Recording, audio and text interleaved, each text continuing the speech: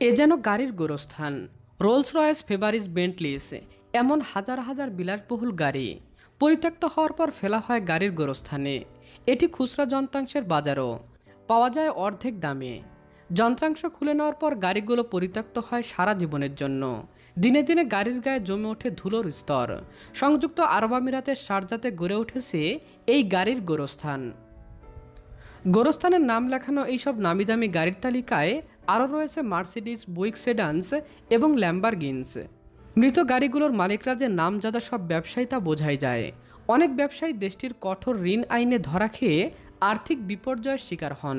অনেকে সম্ভাব্য জেলারাতে পালিয়ে যান অন্য দেশে। তাদের গাড়িগুলো বেশিরভাগ জরাজীর্ণ হয়ে পড়ে। তখন যানগুলোর স্থান হয় মরুভূমির নির্ধারিত স্থানে। এইসব গাড়ির দামি যন্ত্রাংশ অর্ধেক দামে বিক্রি হয়। বাকি কাঠামোটি পড়ে থাকে সেখানে। এটি আমিরাতের সর্ববৃহৎ পরিত্যক্ত গাড়ির স্থান।